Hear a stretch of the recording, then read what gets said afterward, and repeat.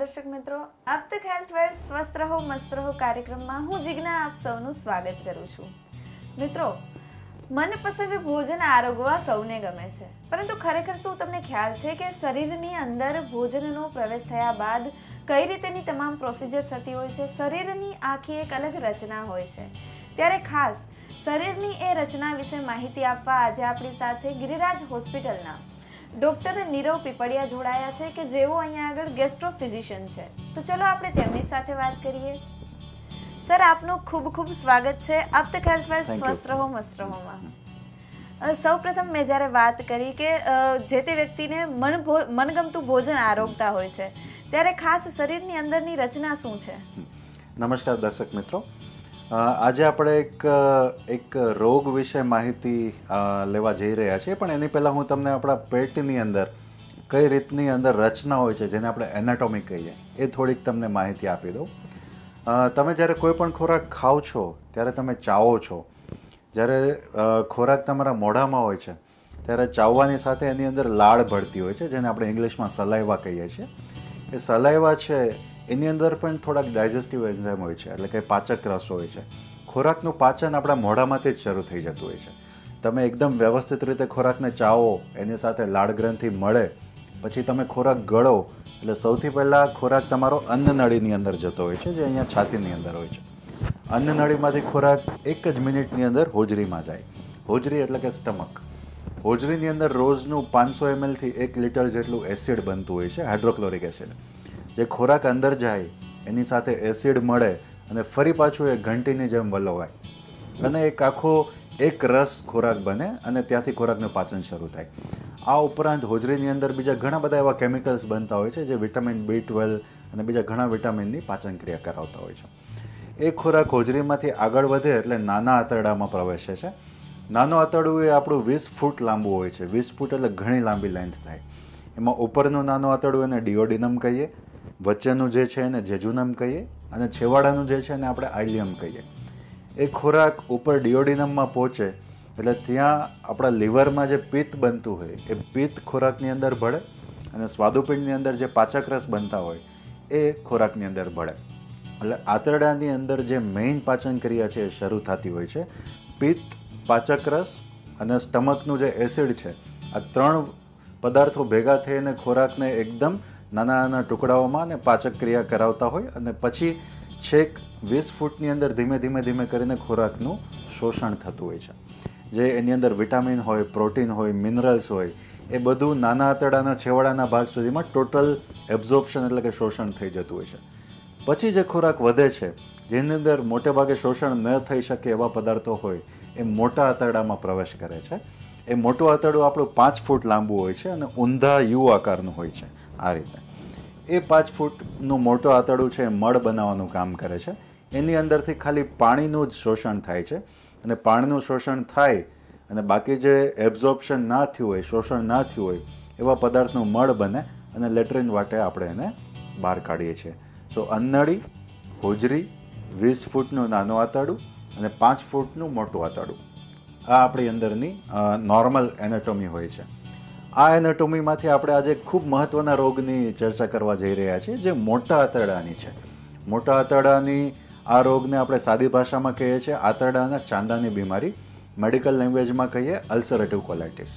So, ulcerative colitis એ ખૂબ મહત્ત્વનો રોગ છે અને પબ્લિકમાં એટલે કે સમાજમાં આ રોગ માટે બિલકુલ અવેરનેસ નથી.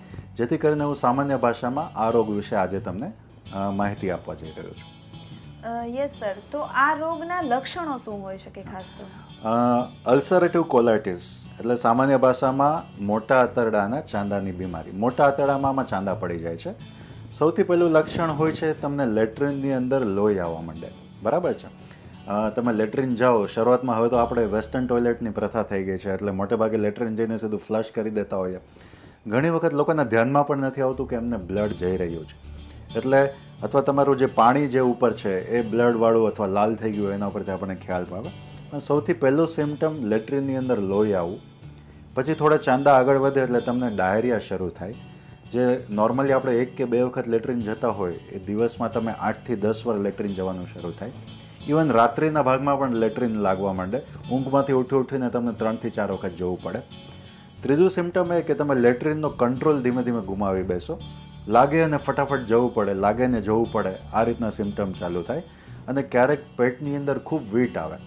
સો બ્લડવાળા ઝાડા અને પેટની વીટ આના મેઇન સિમ્ટમ છે. આવું લાંબા સમયથી ચાલુ રહી, બે મહિના, ત્રણ મહિના, તો તમારા બોડીમાંથી ધીમે ધીમે ધીમે ધીમે કરીને લોહી ઓછું થવા માંડે.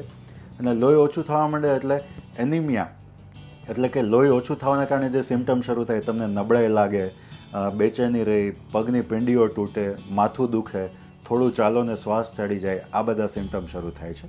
અને ધીમે ધીમે આમ કરતાં કરતાં એટલી બધી અશક્તિ આવી જાય કે અમુક પેશન્ટો પછી બેડ રિડન પણ થઈ જતા હોય છે. સો સૌથી પહેલું જેના જેમની આપણે તકેદારી રાખવી જોઈએ એ સિમ્ટમ છે લેટરીની અંદર લોહી આવવું.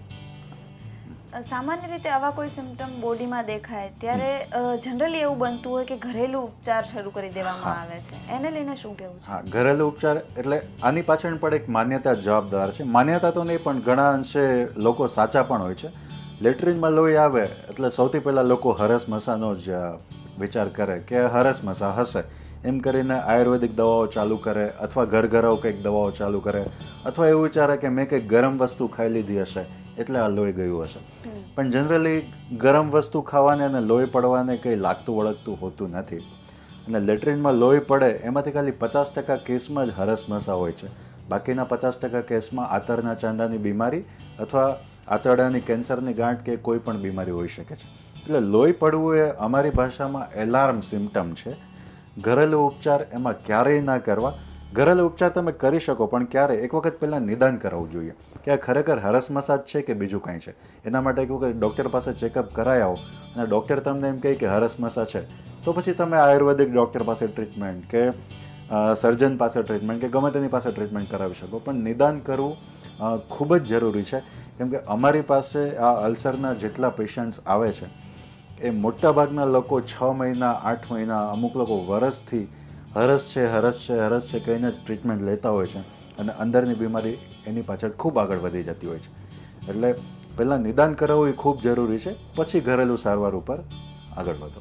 અચ્છા આપે જેમ જણાવ્યું કે આંતરડામાં ચાંદા પડે છે તો એ ચાંદા પડવાના કારણો શું હોય શકે આ રોગ તમે જોવા જાઓ સૌથી પહેલાં હું તમને એ કહી દઉં કે આ રોગ અલ્સરેટિવ કોલાઇટિસ તમે એમ કહેશો કે અમે તો આના વિશે ક્યારે સાંભળ્યું જ નથી. પણ અત્યારે કરંટ ડેટા કરંટ આંકડો એ બોલે છે કે આખા ભારતની અંદર સૌરાષ્ટ્ર રિજિયનમાં આ રોગનું મેક્સિમમ પ્રમાણ છે. બરાબર? તમે હજાર લોકો જુઓ તો જેને અમે અમારી ભાષામાં પ્રિવેલન્સ કહીએ, તો આખા સૌરાષ્ટ્રમાં જેટલા દર્દીઓ છે આ રોગના, એટલા ભારતના કોઈ પણ સિટી અથવા કોઈ પણ રિજિયનમાં નથી. એટલા માટે સૌરાષ્ટ્રે આ રોગને લઈને અવેરનેસ લઈ આવવાની ખૂબ જ જરૂર છે. હવે આ રોગ થવાનું કારણ શું છે? એને મેડિકલ સાયન્સ હજી સુધી પકડી શક્યું નથી. બરાબર છે? અમારી પાસે જેટલા પેશન્ટ્સ આવે છે, એમાં રૂરલ એરિયાના પેશન્ટ્સ ખૂબ હોય છે, જે ખાસ કરીને ખેડૂતો હોય છે, ખેતરમાં કામ કરતા હોય છે, જંતુનાશક દવાઓનો છંટકાવ કરતા હોય છે, જે પોલ્યુટેડ એટલું એન્વાયરમેન્ટમાં નથી રહેતા હોતા, એવા લોકોમાં અમે લોકો આ ખૂબ જોઈએ છે. પણ ઓવરઓલ અત્યાર સુધીનું જે સંશોધન થયું છે, એમાં આ રોગને ઓટો ઇમ્યુન ડિસીઝ કહેવાય છે. ઓટો ઇમ્યુન ડિસીઝ એટલે શું? એ હું તમને સિમ્પલ ભાષામાં સમજાવું. જનરલી આપણા બોડીની અંદર ઇમ્યુનિટી હોય છે. ઇમ્યુનિટી એટલે આપણી રોગ પ્રતિકારક શક્તિ. તમારા શરીરમાં જ્યારે બહારથી કોઈ પણ જીવાણુ અથવા વાયરસ તમારા બોડીમાં આવે, તો આપણી ઇમ્યુનિટી એની સામે લડે અને એનો નાશ કરે. આ એનું નોર્મલ કામ છે. પણ તમારા શરીરની ઇમ્યુનિટીનું બેલેન્સ થોડુંક હલી જાય બેલેન્સ ખોરવાઈ જાય, તો તમારા શરીરને તમારું જ આંતરડું છે એ બહારનું લાગે. તમારું પોતાનું નથી એવું લાગે. એટલે એ તમારું શરીરની ઇમ્યુનિટી તમારા જ આંતરડા સામે લડવા માંડે. એના કારણે આંતરડા ઉપર સોજો અને ચાંદા આવે. આને ઓટો ઇમ્યુન ડિસીઝ કહેવાય. બહુ ગડબડવાળો રોગ છે પણ આને ઓટો ઇમ્યુન ડિસીઝ કહેવાય. હવે ચાલુ શું કામ થાય છે? કઈ વસ્તુને કારણે આ ઇમ્યુનિટીમાં ફેરફાર થઈ જાય છે? એ હજી સુધી મેડિકલ સાયન્સને ખબર નથી. પણ સૌરાષ્ટ્ર રિજિયનમાં કંઈક તો એવું છે કે જે આ વસ્તુ ટ્રિગર કરી રહ્યું છે. એના ઉપર સંશોધનો અત્યારે ઓલરેડી ચાલુ છે. જી સર ચર્ચાને આપણે આગળ વધારીશું. તો દર્શક મિત્રો, સમય થયો છે નાનકડા વિરામનો. વિરામ બાદ ફરી મળીશું.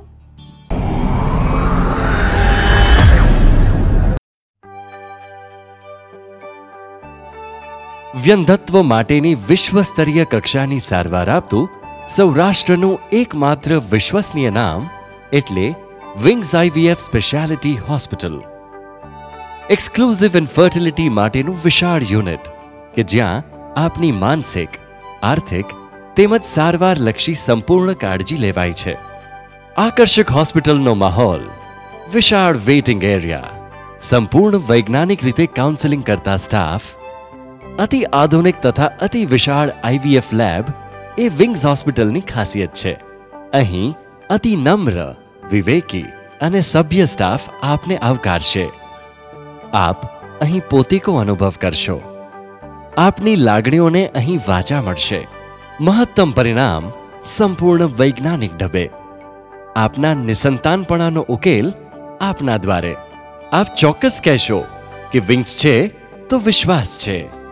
Wings IVF speciality hospital, Nanavati Chowk, Rajkot.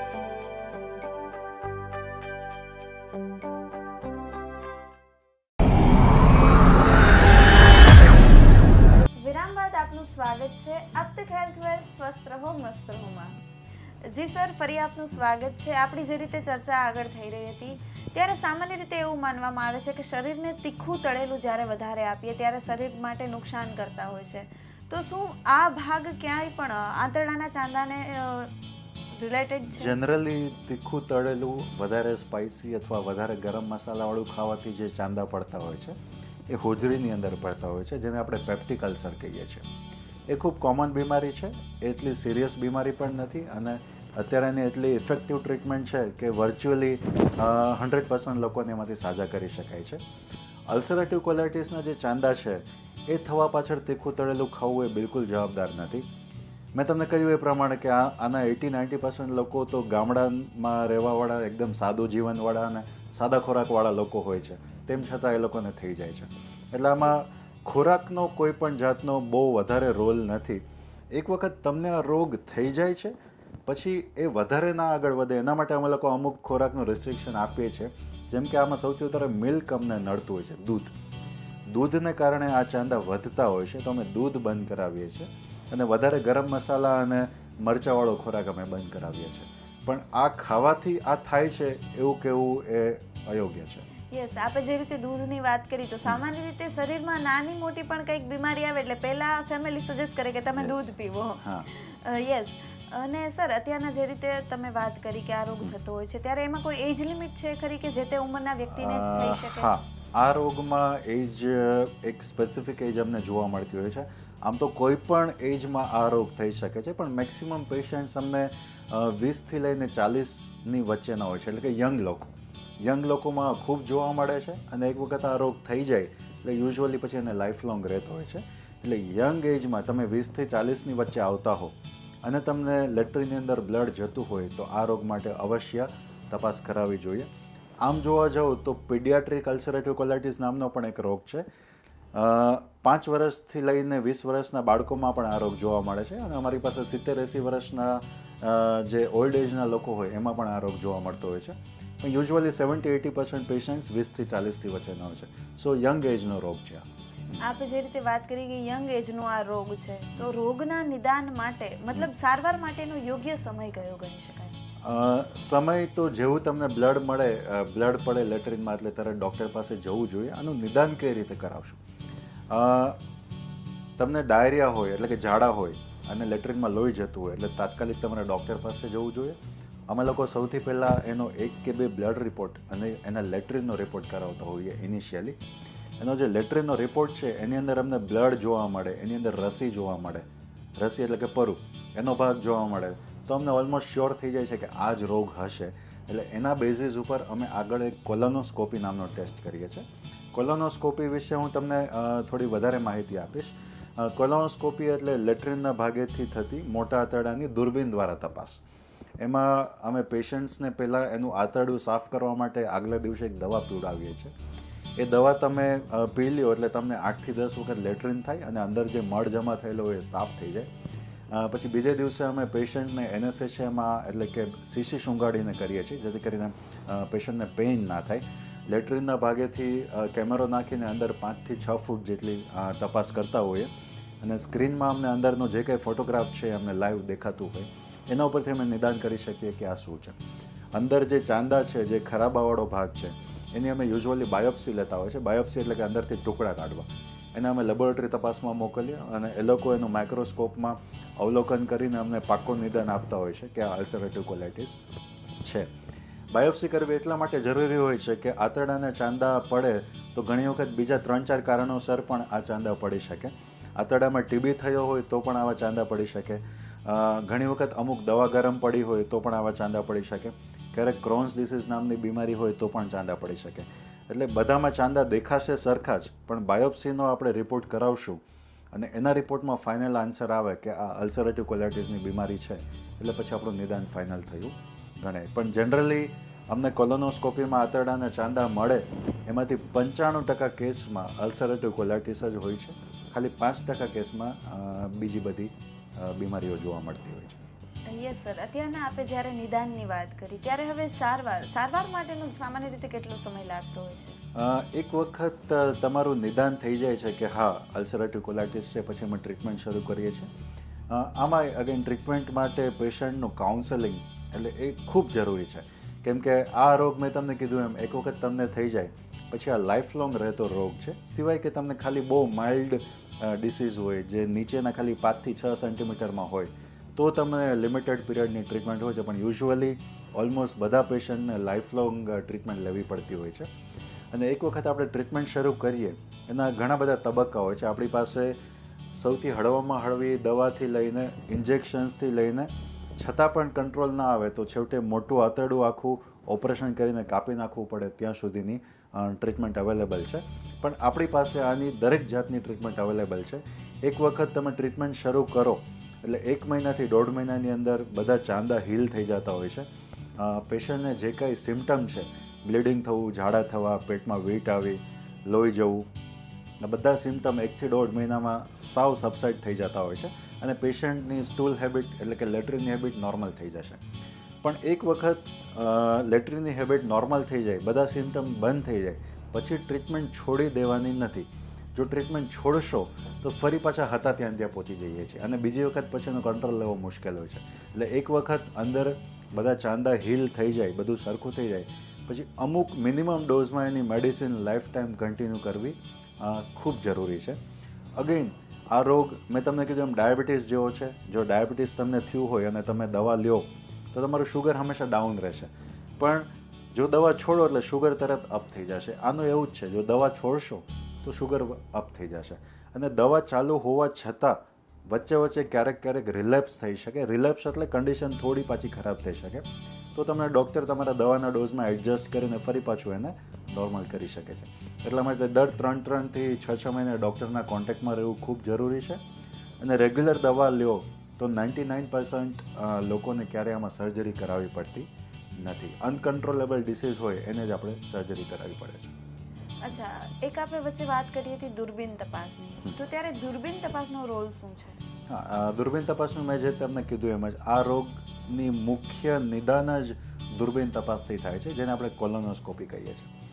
મેં તમને વાત કરી તે પેશન્ટને આગલા દિવસે પ્રિપેર કરીને લેટરીની જગ્યાએથી કેમેરો નાખીને આપણે છેક ચારથી પાંચ ફૂટ અંદર જોઈએ છીએ તો દૂરબીન તપાસના બેથી ત્રણ રોલ છે આ રોગની અંદર. સૌથી પહેલું કે જ્યારે પેશન્ટ પહેલી વખત આવે છે, ત્યારે એનું નિદાન જ દૂરબીન તપાસથી થાય છે. કેમ કે અંદરથી આપણે બાયોપ્સી લેવાની હોય છે અને આ રોગ નીચે પૂંછના ભાગથી શરૂ કરીને કેટલો ઉપર ફેલાયેલો છે, એની એક્સટેન્ટ જોવા માટે દુર્બીન તપાસ જરૂરી છે. એક વખત આપણે નિદાન થઈ ગયું ટ્રીટમેન્ટ ચાલુ કરી, પછી વર્ષ, બે વર્ષ પછી ફરી પાછું દૂરબીન તપાસ કરવું જરૂરી છે કે આપણી ટ્રીટમેન્ટની કેટલી અસર આવી રહી છે એ જોવા માટે. જો ટ્રીટમેન્ટની અસર આવી હોય, તો અંદરની જે ચામડી છે એ ટોટલી નોર્મલ થઈ જવી જોઈએ. એટલે એક બે વર્ષે ફરી પાછી દૂરબીન તપાસ રિપીટ કરવી જરૂરી છે. અને સૌથી મહત્ત્વની વાત, જે લોકોને આ રોગના સાતથી દસ વર્ષ જેવું થઈ જાય છે, એની અંદર જો આ રોગનો કંટ્રોલ બરાબર ન હોય, થોડા થોડા ચાંદા અંદર રહેતા જ હોય, તો આમાંથી આંતરડાનું કેન્સર થઈ શકે છે. એ કેન્સર ના થાય, એટલે દસ વર્ષ પછી દૂરબીન તપાસ કરાવવી વારે વારે અત્યંત જરૂરી છે. કેમ કે કેન્સરનો શરૂઆતનો તબક્કો પણ હોય, તો એ દૂરબીન તપાસ એટલે કે કોલોનસ્કોપી સિવાય કોઈ પણ ટેસ્ટ દ્વારા ખબર પડતી નથી. એટલે દસ વર્ષ તમને અલ્સરેટિવ કોલાઇટિસ હોય, તો દસ વર્ષ પછી કેન્સરનું ડિટેક્શન માટે દૂરબીન તપાસ કરવી ખૂબ જ જરૂરી છે. સો ઓવરઓલ આ રોગમાં દૂરબીન તપાસ એ સૌથી મહત્ત્વનો મુદ્દો છે. તમારે કોલોનસ્કોપી આમાં વારે વારે કરાવવી જ પડતી રહેતી તો દર્શક મિત્રો, હજુ આપણે ચર્ચા આગળ વધારીશું, પરંતુ સમય થયો છે નાનકડા વિરામનો. વિરામ બાદ ફરી મળીશું.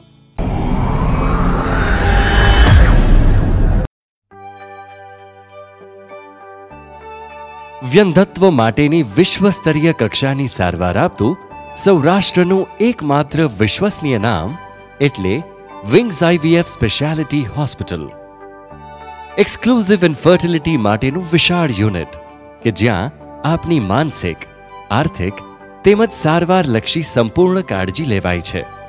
આકર્ષક હોસ્પિટલનો માહોલ, વિશાળ વેઇટિંગ એરિયા, સંપૂર્ણ વૈજ્ઞાનિક રીતે કાઉન્સેલિંગ કરતા સ્ટાફ અતિ આધુનિક તથા અતિ વિશાળ આઈવીએફ લેબ એ વિંગ્સ હોસ્પિટલની ખાસિયત છે. અહીં અતિ નમ્ર, વિવેકી અને સભ્ય સ્ટાફ આપને આવકારશે. આપ અહીં પોતીકો અનુભવ કરશો. આપની લાગણીઓને અહીં વાચા મળશે. મહત્તમ પરિણામ સંપૂર્ણ વૈજ્ઞાનિક ઢબે. આપના નિસંતાનપણાનો ઉકેલ આપના દ્વારે. આપ ચોક્કસ કહેશો કે વિંગ્સ છે તો વિશ્વાસ છે. Wings IVF speciality hospital, Nanavati Chowk, Rajkot.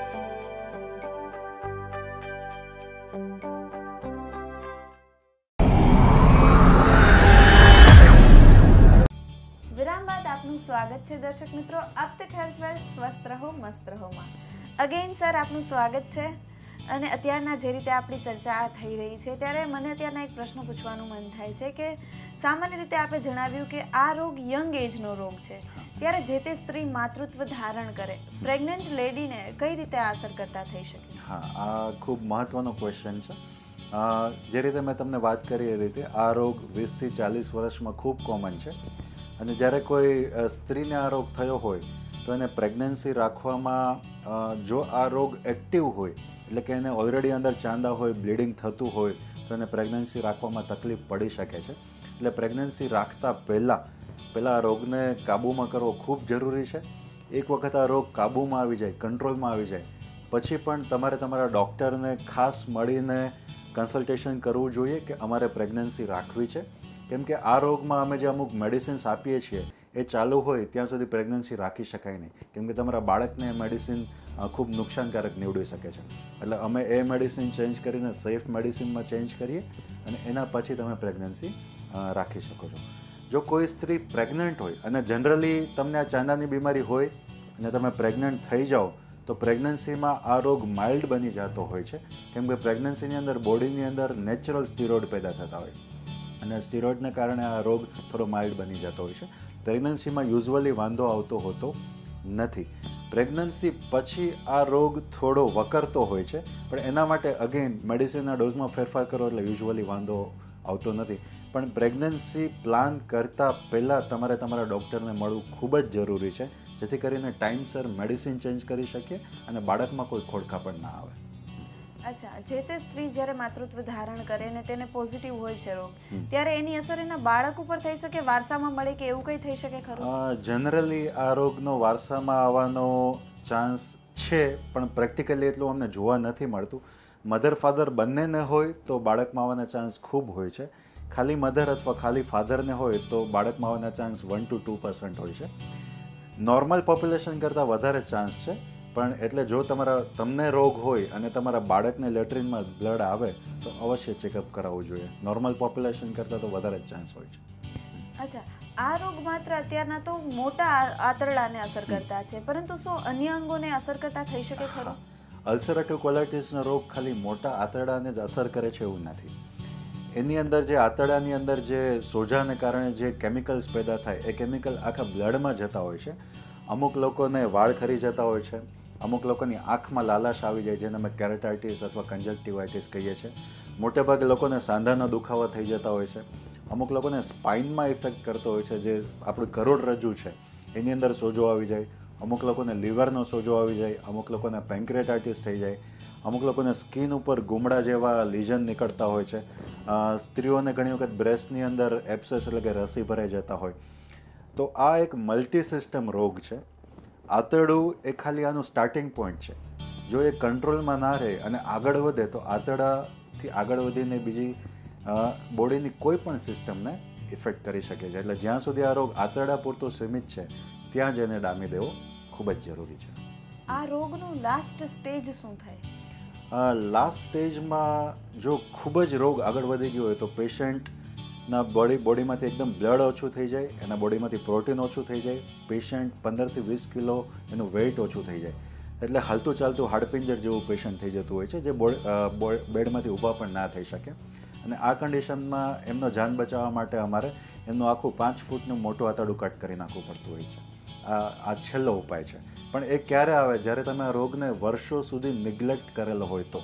તમે વર્ષો સુધી ડૉક્ટર પાસે ગયા ના હો અથવા તમે રેગ્યુલર દવા ના લીધી હોત તો. બાકી મેં તમને વાત કરી એમ આવી હાલત ખાલી વન પર્સન્ટ લોકોની જ થાય છે. જે લોકોએ બધી એડવાઇસને નિગ્લેક્ટ કરેલી હોય છે તો. બાકી શરૂઆતના તબક્કામાં બધી જ રીતે કંટ્રોલ કરવો અત્યારના મેડિકલ સાયન્સ પાસે ઉપલબ્ધ છે. યસ સર આપનો ખૂબ ખૂબ આભાર ખાસ તો અમારા દર્શક મિત્રોને માહિતગાર કરવા બદલ. ત્યારે દર્શક મિત્રો કાર્યક્રમના અંતમાં હું આપના માટે હેલ્થ ટીપ લઈને આવતી હોઉં છું. ત્યારે આજની હેલ્થ ટીપ અમારા ડોક્ટર તરફથી. યસ દર્શક મિત્રોને ખાલી એક જ વસ્તુ જણાવવાની કે લેટ્રિનમાં આવતું બ્લડ દરેક વખતે હરસમસાથી નથી હોતું. ખાસ તમારા ડૉક્ટર પાસે જઈને ચેકઅપ કરાવો. થેન્ક યુ તો દર્શક મિત્રો, આજે જ્યારે આપણે અતિ સરસ મજાની માહિતી મેળવી છે, ત્યારે ફરીથી નવા વિષય સાથે હું આપની સમક્ષ હાજર રહીશ. ત્યાં સુધી મને રજા આપો અને જોતા રહો. અપ તક હેલ્થ વેલ્થ સ્વસ્થ રહો, મસ્ત રહો. નમસ્કાર. આવા જ અવનવા વિડીયોઝ માટે અબતકની ચેનલને સબસ્ક્રાઇબ લાઇક અને શેર કરતા ના ભૂલશો. આ જ રીતે જોડાયેલા રહો અબતક સાથે. ધન્યવાદ.